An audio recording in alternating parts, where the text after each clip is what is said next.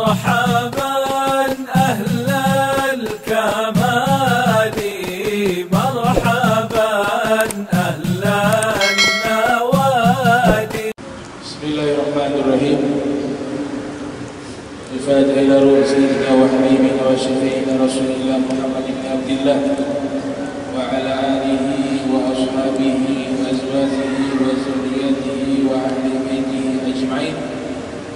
خصوصا إلى روح سيدنا أحمد عيسى الفؤاد الفضيل المقدم محمد بن علي بعلوي وجميع سادات علي بعلوي وأصول وفروعهم أن الله يعلي درجة في الجنة يكثر مصوبتهم ويضاعف حسناتهم ويحفظنا بجاه وينفعنا بهم ويعيد علينا من بركاتهم وأسرارهم وأنوارهم وعلومهم ونفحاتهم في الدين والدنيا والآخرة وإلى حضرة النبي الفاتحة بسم الله الرحمن الرحيم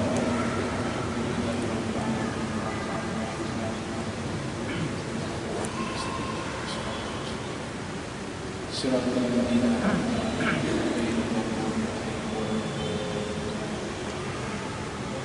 بسم الله الرحمن الرحيم السلام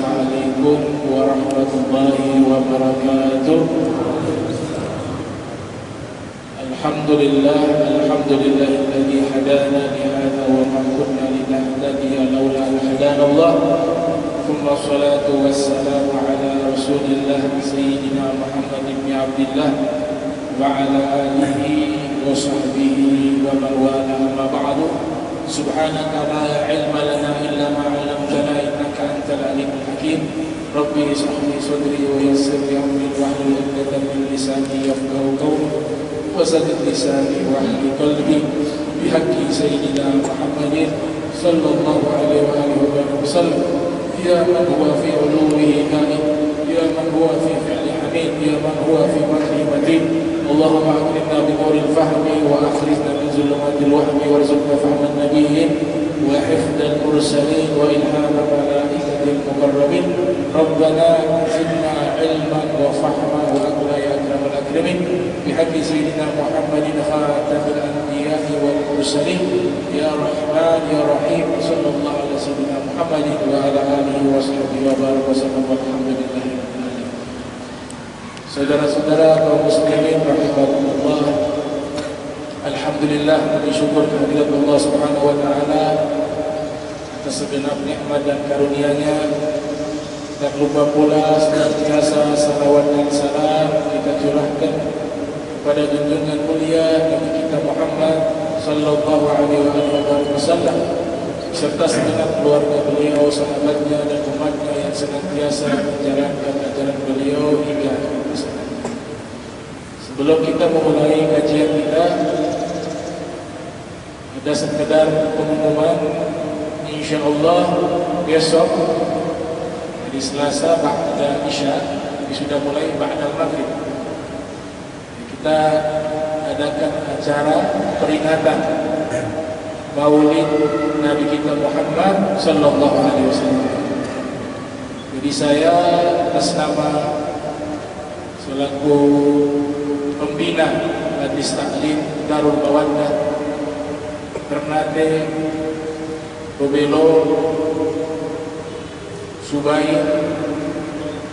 kemudian Jakarta itu mengundang bapak-bapak sekalian untuk bisa hadir di Masjid Al-Amin Fala Jawa Insya Allah saya minta doanya bapak-bapak yang hadir di sini semuanya doakan mudah-mudahan besok pas diadakan acara tersebut mudah-mudahan tidak hujan. Tapi acara hujan tidak apa-apa. Jadi sama-sama saya minta dari antara bapak-bapak di sini ada doanya mustajabah. Kita tahu mungkin disebutkan kita sini ada mustajabah. Jadi saya minta kita sama-sama baca Fatihah untuk acara besok mudah-mudahan tidak turun hujan kecuali selepas acara. بالنية سورة الفاتحة وسر الفاتحة وإلى حضرة النبي الفاتحة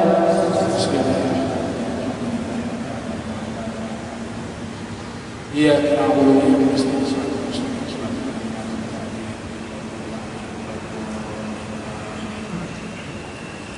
Ya luar biasa ini bahagia sekali ya sudah masuk bulan Maulid. Ini kalau para ulama seperti Ibnu Hajar Haitan dan ulama-ulama besar lainnya mereka menyatakan hari yang paling mulia itu adalah hari di mana dilahirkan Nabi Muhammad SAW. Bagaimana tidak mulia? Kalau tidak ada hari kelahiran Nabi, tidak ada hari-hari mulia lainnya. Tidak ada hari raya Idul Fitri, tidak ada Isra Mi'raj, tidak ada Lailatul Qadar. Bahkan tidak ada yang mengenal Allah dengan baik dan benar. Bahkan tidak ada yang mengenal agama Islam. Berkat hari kelahiran Nabi Muhammad sallallahu alaihi wasallam, maka dari hari tersebutlah cabang-cabang kebaikan yang berlimpah sampai hari ini berkat hari kelahiran Nabi Muhammad sallallahu alaihi wasallam. Maka orang yang berakal sehat pasti bahagia. Ya, dalam Al-Qur'an Allah Subhanahu wa taala berfirman wa qaddimu bi ayyamillah. Muliakanlah agungkanlah hari-hari besarnya Allah. Apa hari-hari besarnya Allah? Salah satunya hari terbesar Allah itu adalah hari kelahiran kekasihnya Nabi kita Muhammad sallallahu alaihi wasallam. Maka mazharul farah wasruh kita boleh mengekspresikan bahagia dan rasa senang atas kelahiran Nabi Muhammad sallallahu alaihi wasallam dengan tuntunan ajaran Nabi sallallahu alaihi wasallam dalam kebaikan. Hanya Al-Hafiz Ahmad bin Ali Muhajjar Al-Asqalani yang lahir tahun 773 Hijriah meninggal 852 Hijriah dalam kitab Fathul Bari ala Syarh Sahih Bukhari. Beliau mengatakan bahwa kita boleh mengkhususkan hari tertentu sebagai rasa syukur kepada Allah Ta'ala dengan kita mengisi dengan amal-amal soleh. Baik itu sedekah baik itu puasa baik itu membaca daripada biografi Nabi Muhammad Sallallahu Alaihi Wasallam dan luar biasa ya Nabi kita Muhammad sallallahu alaihi wasallam ini kita beruntung beruntung menjadi umat Nabi Muhammad sallallahu alaihi wasallam. Beruntung kita berada di dalam agama Islam. Nikmat paling terbesar adalah agama Islam. Nikmat yang paling terbesar menjadi umat Nabi Muhammad sallallahu alaihi wasallam Nabi Sallallahu Alaihi Wasallam beliau sebagai penutup dari 124 ribu nabi dan rasul yang Allah utus. 124 ribu. Dalam Al-Quran yang banyak kita hafal 25 tapi jumlah keseluruhan sebagaimana disebutkan oleh Syekh Amin Kurdi An-Naskabandi dalam kitab Tanwirul Qulub fi Mu'alamati Alamil Ghuyub Hadis dari Abu Zar Al-Ghifari radhiyallahu taala anhu arda pernah bertanya ya Rasulullah jumlah para nabi secara keseluruhan berapa? Nabi katakan 124 ribu. Ini 124 ribu manusia-manusia pilihan. Tapi pemimpinnya satu. Siapa? Nabi kita Muhammad sallallahu alaihi wasallam. Makanya hadis diriwayatkan oleh Imam Muhammad bin Ismail bin Ibrahim bin Mughirah bin Bardisbah al-Bukhari yang lahir 144 Hijriah.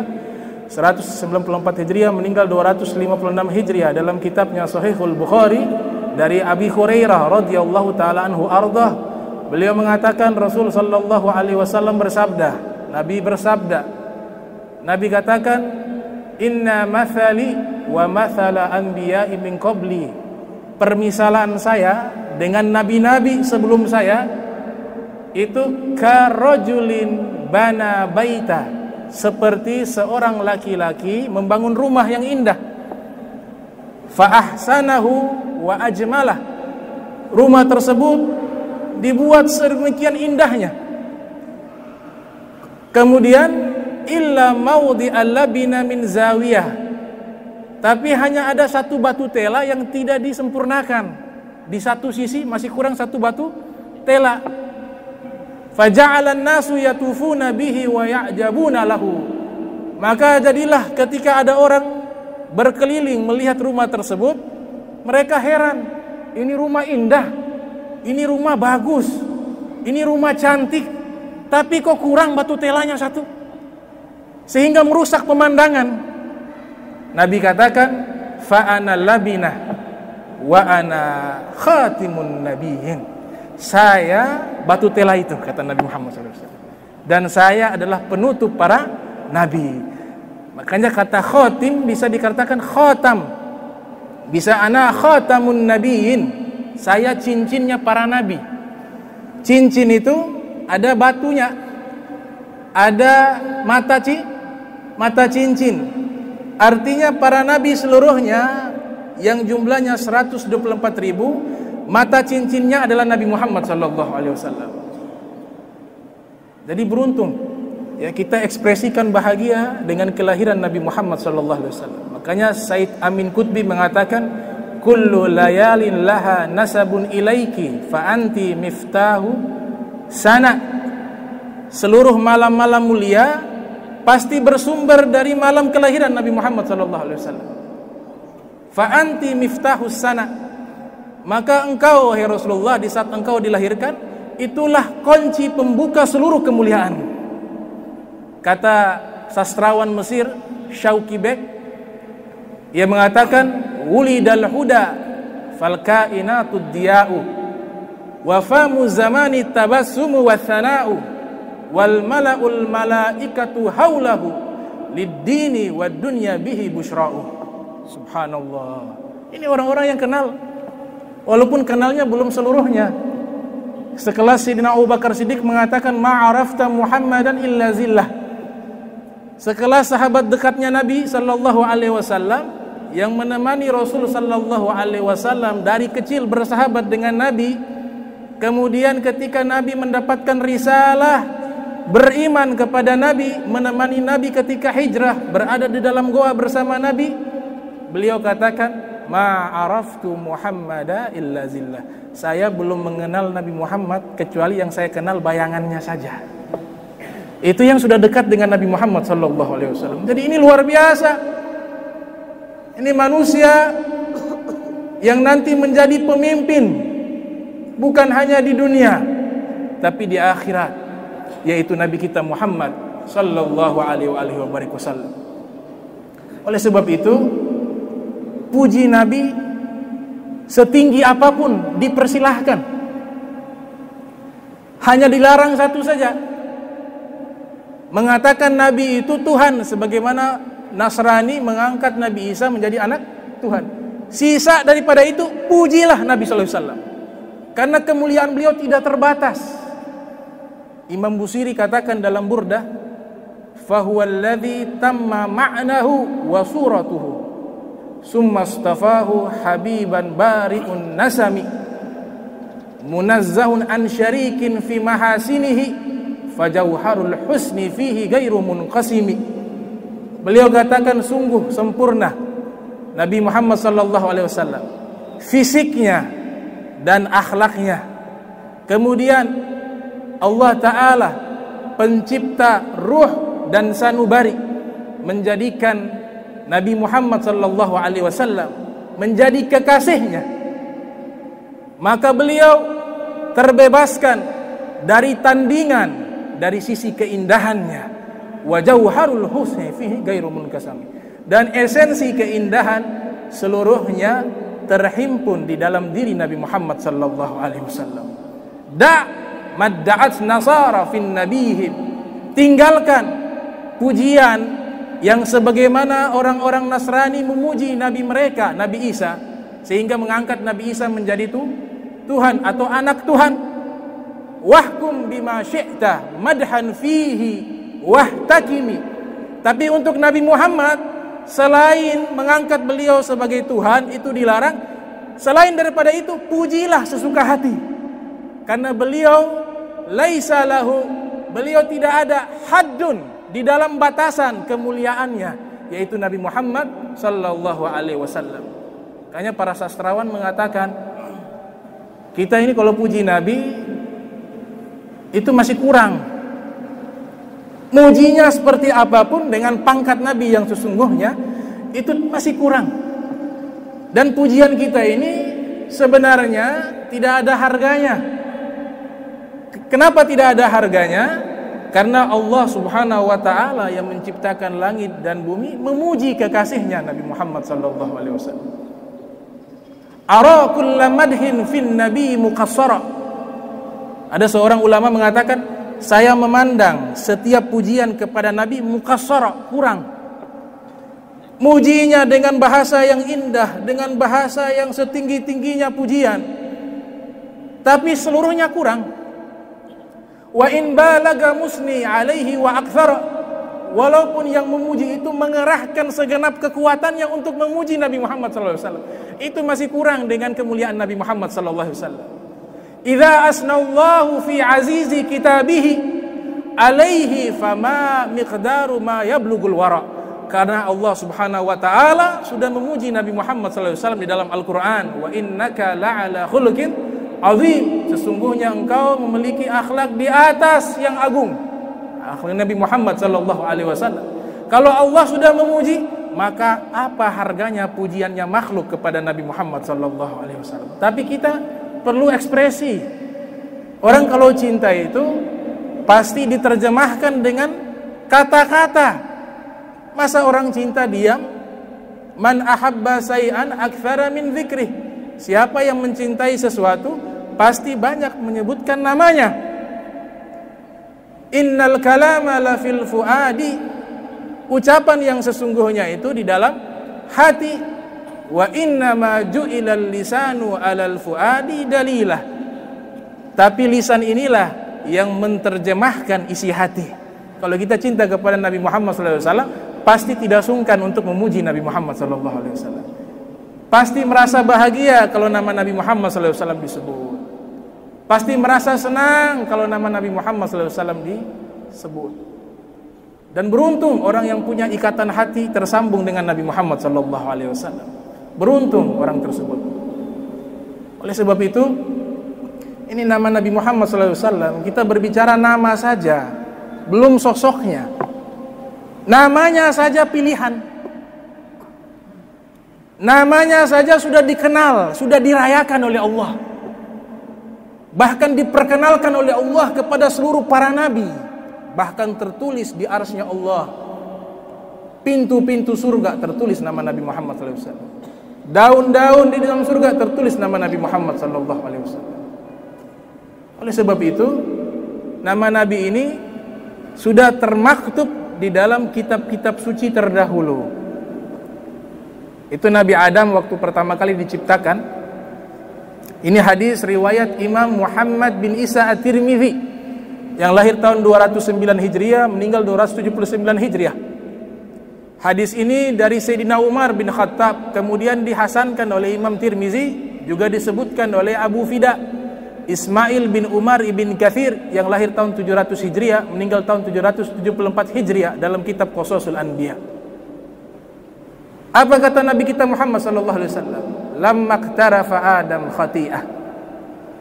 Ketika Nabi Adam memakan buah kurma atau buah anggur di dalam surga, ulama tafsir mengatakan khuldi itu buah anggur, ada yang mengatakan buah zaitun, ada yang mengatakan buah tin, ada yang mengatakan karam, buah anggur.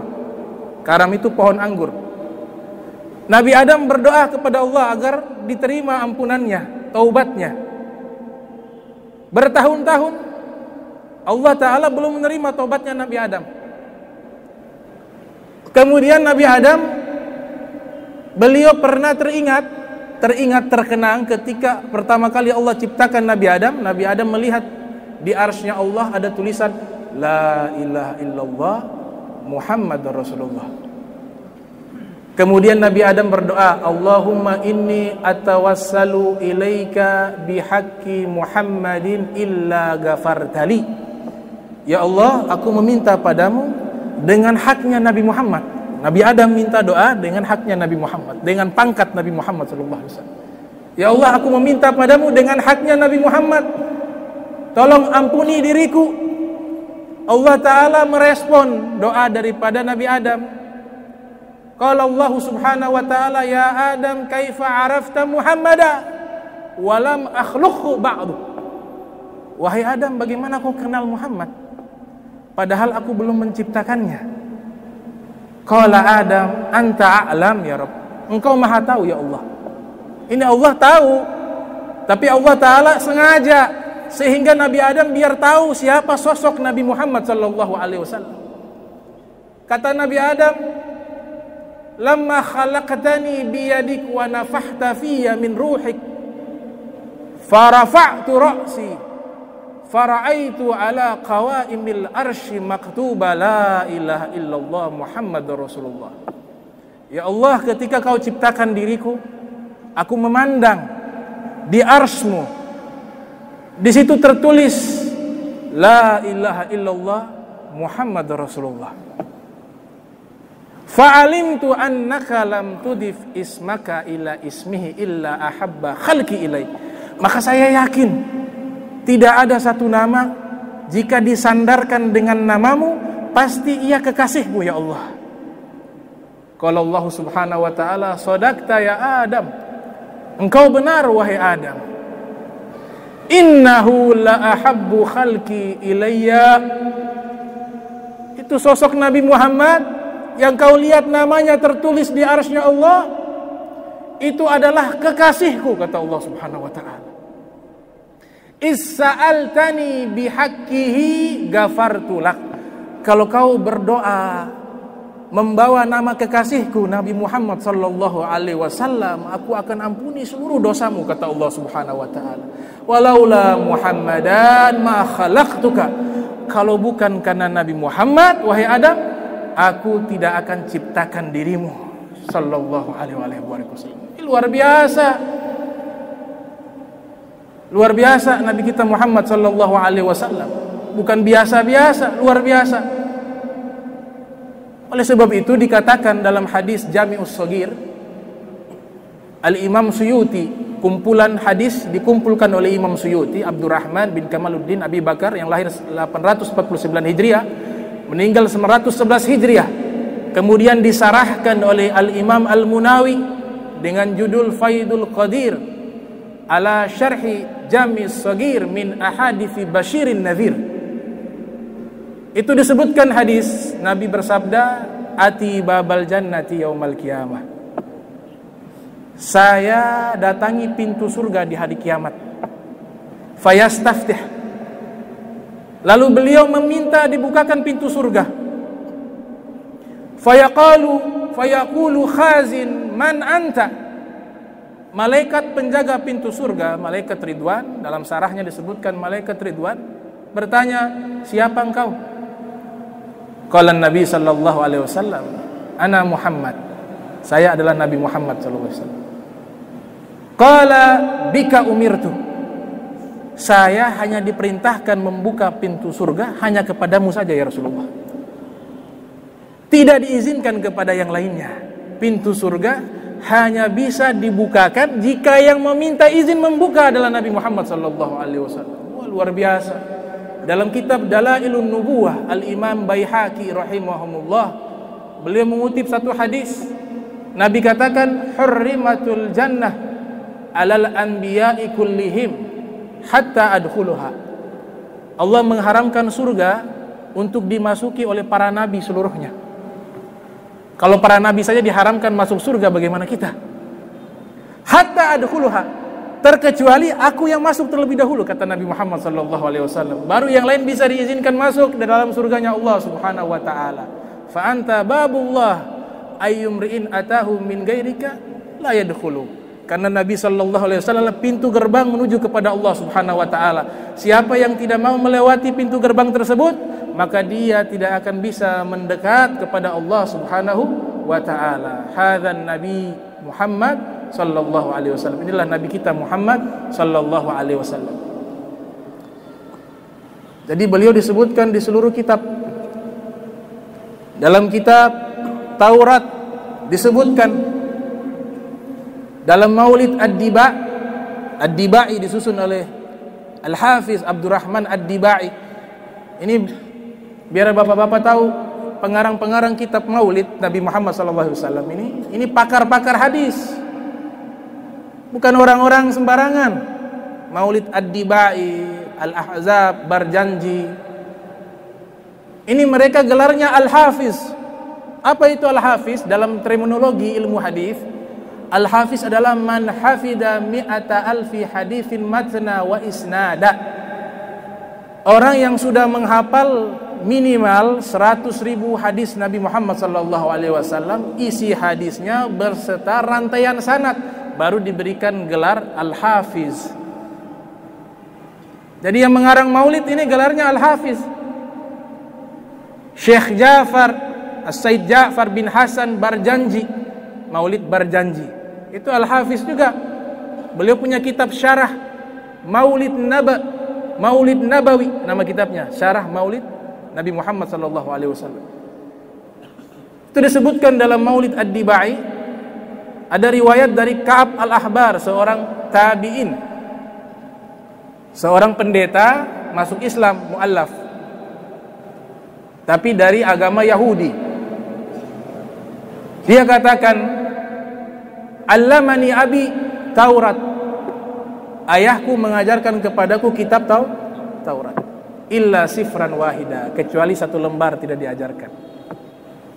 Fakana yakhtimuhu wa yudkhiluhu sunduk. Satu lembar itu disampul kemudian dimasukkan di dalam sebuah peti jadi ada satu lembar kitab Taurat disobek sama ayahnya, disampul, dimasukkan ke dalam peti. Falamma mata abi fatahtuhu. Ketika ayahku meninggal dunia, saya membuka peti tersebut. Faizan fihi nabiyun yakhruju akhir zaman. Ternyata lembaran tersebut di dalam kitab Taurat menceritakan tentang sosok seorang nabi yang akan lahir di akhir zaman. Mauliduhu bi Makkah wa hijratuhu bil Madinah wa sultanuhu bi Syam. Lahirnya di kota Makkah. Hijrahnya di kota Madinah. Kekuasaannya sampai ke negeri Syam. Siapa nabi tersebut? Nabi tercinta kita Nabi Muhammad sallallahu alaihi wasallam. Disebutkan dalam surat Al-Kahfi Nabi Khidir dan Nabi Musa pergi di satu daerah. Lihat ada satu dinding yang mau roboh. Kemudian diperbaiki oleh Nabi Khidir. Diperbaiki oleh Nabi Khidir. Ini Allah abadikan dalam Al-Quran wa ammal jidaru fakana li gulamaini yatimaini fil madinah wa kana tahtahu kanzun lahuma wa kana abuhuma ada dinding yang mau roboh. Diperbaiki sama Nabi Khidir alaihi salam. Nabi Musa bertanya kenapa diperbaiki? Ini kampung penduduknya bakil orang-orang kikir semuanya. Kita minta makanan tidak dikasih kita minta minuman tidak dikasih. Kenapa harus perbaiki dinding rumah mereka? Kata Nabi Khidir, ini dinding milik dua orang anak yatim. Di bawahnya daripada dinding tersebut ada harta yang tersembunyi milik mereka berdua. Wakana Abu Huma soleha. Dan dua anak yatim ini punya ayah orang baik, orang soleh. Disebutkan dalam tafsir Al-Quran Ruhul Ma'ani fi tafsir Quran Azim Wasabil Mathani disusun oleh Imam Alusi Al-Bughdadi rahimahumullah mengutip ucapan daripada Al-Imam Ja'far As-Sadiq bin Muhammad Al-Bagir bin Ali Zain Al-Abidin bin Husain bin Ali ibn Abi Talib alaihi salam yang lahir tahun 80 Hijriah meninggal 148 Hijriah. Beliau mengatakan ayah daripada dua anak yatim ini bukan ayahnya ayah kandungnya bukan. Tapi kakek buyutnya yang nasabnya sampai ke tujuh.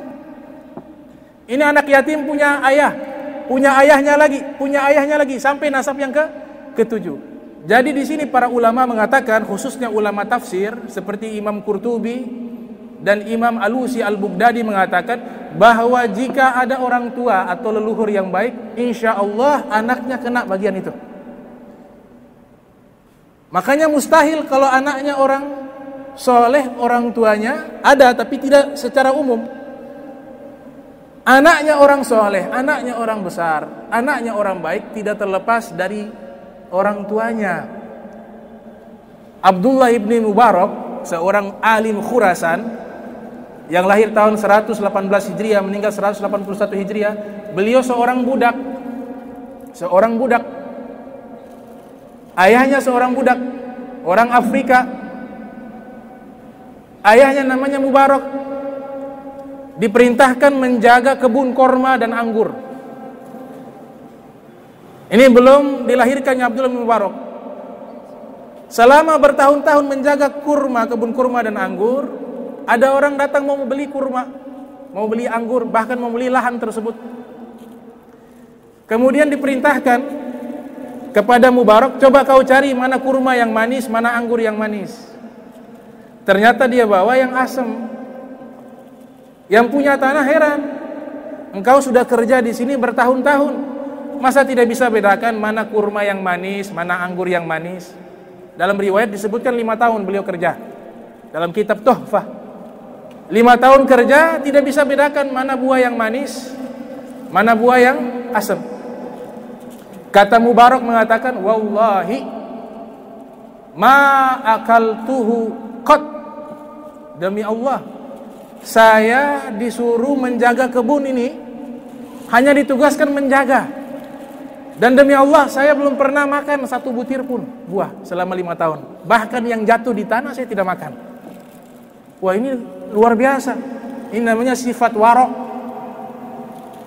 Kemudian pemilik tanah ini dia lapor kepada temannya yang hendak mau menikahkan putrinya dengan seorang laki-laki yang soleh. Dia katakan saya punya budak orang soleh. Bayangkan dia kerja lima tahun tidak pernah makan itu buah. Pada kerjanya di kebun korma, di kebun anggur, tapi buah yang jatuh pun dia tidak makan. Subhanallah. Dinikahkan, lahirlah anak alim. Salah satu murid kesayangan Al-Imam Malik bin Anas yang bernama Abdullah ibn Mubarak radhiyallahu taala anhu arda. Dari orang tuanya berperan. Nah, kemudian dibukakan itu tembok itu diperbaiki oleh Nabi Khidir. Kemudian dalam tafsir Sayyidina Abdullah bin Abbas mengatakan harta karun yang tersembunyi di dalam itu ada emas, ada perak. Tapi ada juga nisan atau kepingan emas yang di dalam kepingan emas itu ada tulisan nasihat yang pertama tertulis kata Abdullah bin Abbas innahu kana lauhan min zahab maktuban fih sesungguhnya di dalam peti tersebut di dalam harta tersebut ada nisan yang terbuat dari emas yang tertulis nasihat di dalamnya yang luar biasa ini batu nisan ternyata tertulis juga nama Nabi Muhammad sallallahu alaihi wasallam. La ilaha illallah Muhammadur Rasulullah di zaman Nabi Musa, di zaman Nabi Khidir. Nasihat yang pertama, pertama disebutkan Ajibtu liman yu'minu bil qadar kaifa yahzan. Saya heran kepada orang yang beriman kepada takdir tapi bagaimana dia sedih? Orang kalau beriman dengan takdir tidak pernah sedih. Dia terima apa pun yang ada. Takdir ini rukun iman. Wajib kita yakini. Takdir ini tidak perlu dipikirkan karena takdir ilmunya Allah bukan ilmunya manusia. Takdir ini tidak perlu dipelajari secara mendalam. Karena ilmunya manusia tidak akan bisa sampai dengan ilmunya Allah.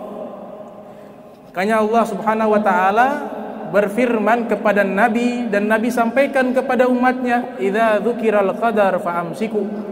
Kalau diceritakan tentang takdir, fa'amsiku, tahan. Jangan terlalu mendalam. Ilmu kalian tidak sampai di situ.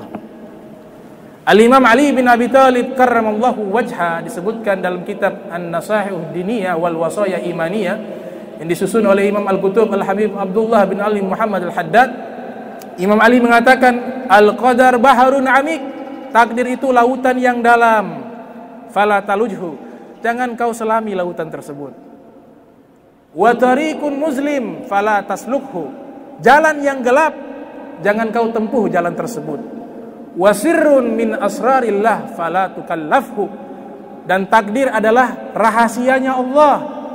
Maka jangan kau memaksa diri untuk mengungkap rahasianya Allah Subhanahu wa taala.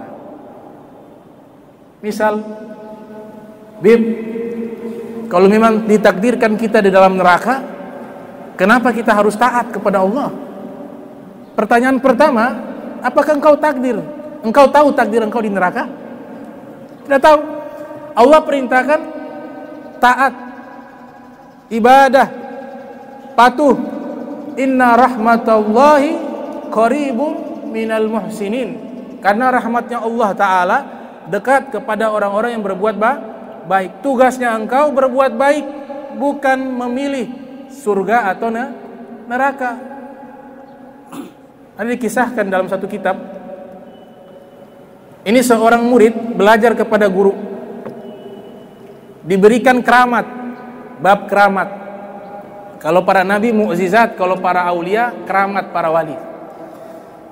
Jadi dia belajar kepada seorang guru sehingga Allah berikan keramat kepadanya dia bisa memandang itu lauhil mahfuz. Subhanallah, dia lihat catatan. Ada catatan penghuni surga, ada catatan penghuni neraka. Siapa yang namanya tertulis di buku tersebut dalam golongan penghuni surga, maka takdirnya dia penghuni surga. Siapa yang namanya tertulis di dalam buku tersebut dari golongan ahli neraka, maka dia ditakdirkan sebagai penghuni neraka. Bahkan ketika Nabi Adam pertama kali diciptakan, itu keturunannya berupa cahaya ada di sebelah kanan. Ditanya yang sebelah kanan siapa? Ini penghuni surga. Yang sebelah kiri gelap. Siapa mereka? Adalah keturunanmu penghuni neraka. Itu takdir. Yang luar biasa sang murid lihat nama gurunya ada di kitab penghuni neraka. Eh gurunya didik dia sampai dia jadi orang soleh. Ternyata dia lihat gurunya itu ditakdirkan di dalam neraka. Bingung dia. Ya, saya punya guru didik saya sampai saya jadi orang wali, jadi orang soleh. Ternyata saya dikasih kelebihan bisa melihat takdir. Ya guru saya tempatnya di neraka. Ini cerita kita tidak bahas masalah sanat ya. Kita bahas, bahas masalah hikmah. Bukan hadis Nabi tapi kisah para ulama. Kemudian dia datang kepada gurunya. Apa yang dia katakan? Ya syekhi, wahai guru, mohon maaf, kau telah didik saya sampai saya diberikan kemuliaan oleh Allah bisa melihat lauhil mahfuz. Dan yang luar biasa saya lihat engkau punya nama berada dalam buku catatan takdir ahli neraka. Jadi engkau ini penghuni neraka wahai guru. Kata gurunya, saya sudah tahu bertahun-tahun yang lalu. Sebelum engkau bisa melihat itu, saya sudah bisa lihat duluan, kata gurunya. Berarti antum tahu kalau antum ini penghuni neraka. Dia bilang, saya tahu. Kenapa taat kepada Allah kalau memang takdirnya penghuni neraka? Kata sang guru, Allah Subhanahu wa taala ciptakan saya di dunia, saya sebagai hamba. Allah sebagai Rob, sang penguasa dan Allah perintahkan saya untuk taat dan beribadah kepada Allah. Adapun masuk surga neraka itu miliknya Allah, surga neraka haknya ya Allah. Mau masukkan saya di surga silakan, masukkan saya dalam neraka juga sih silakan. Yang pasti tugas saya beribadah kepada Allah Subhanahu wa taala. Masya Allah. Sang murid kagum dengan ucapan sang guru. Pulang ke rumah, dia sholat tahajud, sholat malam, Kemudian dia coba lagi lihat cari nama gurunya di kitab penghuni neraka. Ah, sudah hilang. Nama gurunya sudah hilang. Dia lihat di kitab penghuni surga ternyata nama gurunya sudah berpindah di dalam catatan kitab penghuni surga. Ini ilmunya Allah, bukan ilmunya manusia. Manusia ditugaskan taat, ibadah. Wa ma khalaqtul jinna wal insa illa liya'budun selesai sampai di situ mengabdi kepada Allah bukan haknya kita harus masuk surga bukan haknya kita Allah tidak boleh kata harus Allah penguasa alam jagat raya ini Tidak ada kewajiban bagi kita. Tapi Allah punya kasih sayang. Kalau orang berbuat baik, Allah akan antarkan dia ke surga. Itu yang harus diingat. Takdir urusannya Allah Subhanahu wa taala. Paham ya? Jadi jangan memikirkan takdir. Dijalankan, pilih yang terbaik, lakukan. Nabi ajarkan kalau ada dua perkara yang dua-duanya baik membuat kita bingung, dikasih ajar sholat istikharah. Itu kan cara memilih takdir yang baik sehingga nanti keputusannya juga baik. Ada hadis kutsi diceritakan. Ini dua adik kakak ditakdirkan di dalam neraka. Dan memang pantas dalam neraka. Kenapa? Ketika hidup tidak pernah taat kepada Allah. Dua-duanya maksiat. Sampai pada akhirnya Allah perintahkan malaikat, wahai malaikat, bawa nih dua orang bersaudara ke dalam neraka. Ketika Allah nyatakan demikian, sang kakak lari menuju neraka. Tanpa diantar malaikat, dia lari dengan semangat menuju ke neraka. Malaikat bingung juga, belum pernah ada nih orang semangat masuk neraka. Baru ini orang.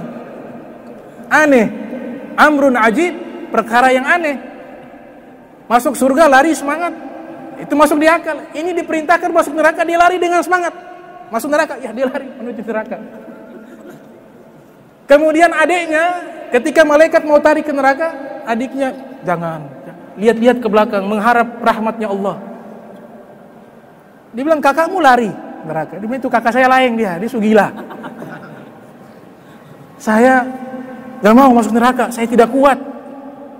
Subhanallah Allah perintahkan ya malaikati kifu. Wahai malaikat berhenti sebentar. Tanya, itu kakaknya kenapa lari masuk neraka dengan semangat? Kakaknya menjawab, "Ya Allah, dulu di dunia ketika saya hidup, seluruh perintah yang kau perintahkan tidak pernah saya kerjakan. Apa yang kau larang saya langgar. Dan hari ini saya bertekad sudah saatnya saya taat kepada Allah. Walaupun Allah perintahkan masuk neraka, saya taat kepada Allah, masuk neraka." Kalau adikmu ini kenapa? Wahai fulan, kenapa engkau tidak mau masuk neraka? Kenapa engkau tarik-tarik malaikat? Malaikat tarik engkau tarik juga, gak mau masuk neraka. Kata adiknya ini, ketika di dunia saya sering membaca kalimat Bismillahirrahmanirrahim dengan menyebut nama Allah yang Maha Pengasih lagi Maha Penyayang. Saya masih berharap mungkin Allah punya kasih sayang masih ada untuk saya walaupun di saat-saat mau masuk neraka. Subhanallah. Inna rahmati sabagat ghadabi. Dalam hadis Nabi katakan rahmatnya hadis qudsi Allah berfirman rahmatku mengalahkan kemurkaanku. Kata Allah taala, wahai malaikat, itu kakaknya yang mau lari ke neraka. Suruh jangan pergi ke neraka. Suruh dia lari menuju surganya Allah taala. Kenapa? Karena dia taat kepadaku. Ini adiknya, dia masih mengharapkan rahmatku dan ketahuilah rahmatku begitu luas dan saya berikan kepadamu. Wahai malaikat, antarkan dia menyusul kakaknya ke dalam surganya Allah Subhanahu wa taala. Ini namanya takdir.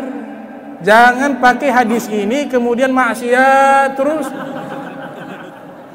Ya, berharap mungkin dapat rahmat Allah, eh, sabar dulu. Gak boleh. Ini hanya menggambarkan bagaimana takdir itu haknya Allah. Mereka takdirnya di surga. Karena hakikatnya Allah tidak membutuhkan amal ibadah kita.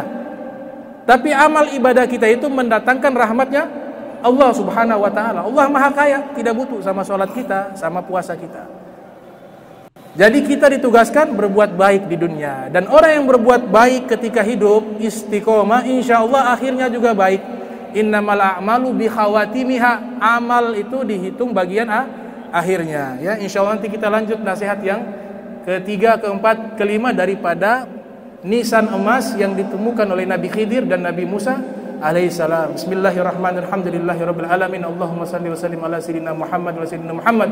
Allahumma jam'ana hadha jam'a marhuma wa tafarraqana min ba'di tafarraqa ma'suma wa la taj'al minna wa la minna syaqiyya wa la mahruma.